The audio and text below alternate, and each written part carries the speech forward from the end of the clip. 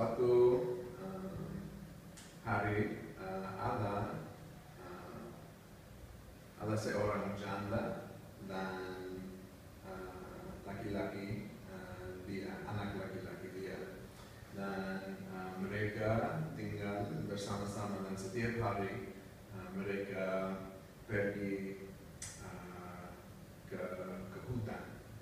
Hutan untuk mencari kayu untuk uh, memasak dan juga untuk mencari ikan untuk uh, makan. Uh, jadi uh, uh, janda uh, itu namanya Rondong dan anak laki-laki namanya Joko. Dan suatu hari mereka pergi uh, ke hutan uh, seperti selalu ya dan mencari um, kayu dan ibu Rondong Mhm. uh, selalu mencari uh, kayu dan Joko uh, selalu uh, mencari ikan. Hmm. Tapi uh, ya, hari hari itu uh, Joko nggak bisa um, nggak ada uh, ikan. Jadi dia mencari mencari tapi ya sudah uh, waktu sudah sore uh, dia pikir ah saya harus pulang.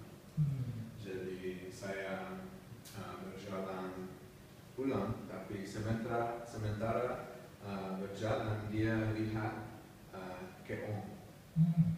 dan dia berkata ah uh, apa apa ini dan dia lihat oh keong. Dan itu keong uh, keong warna emas emas. Jadi dia membawa keong itu. Dia uh, membawa ke rumah.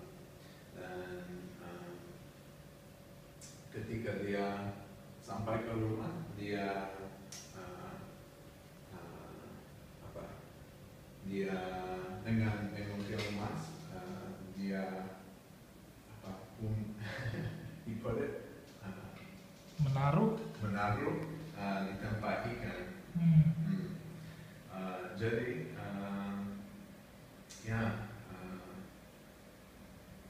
jadi uh, yang lain yang lain hari uh, mereka pergi lagi untuk mencari kayu dan, dan ikan tapi um, sementara uh, mereka pergi um, keluar uh, keong emas uh, berubah Hmm. uh, dan menjadi wanita Hmm. dan dia uh, membersih rumah, memasak Hmm. makanan, uh, makanan enak-enak uh, dan lagi uh, beru- uh, berubah menjadi keong. Jadi ketika uh, Rondong dan Joko uh, sampai ke rumah, uh, Rondong uh, bertanya kepada Joko, ah, siapa siapa membersih, siapa memasak? Uh, dan Joko menjawab dia, saya nggak tahu. Tapi jadi mereka, mereka hanya uh, makan dan tidur dan uh, itu uh, apa? Itu terus Mhm. uh, Terjadi. selama- apa? Terjadi. terjadi ya terjadi uh, selama saya nggak tahu mungkin dua atau tiga hari dan uh, uh, saat suatu hari mereka apa mereka pergi di luar tapi uh, mereka berhenti dan kembali uh, dan mengintip Mhm. dalam rumah Mhm. dan mereka lihat uh, kemas berubah lagi, lagi menjadi uh, wanita Uh, dan mereka masuk dan bilang kepada uh,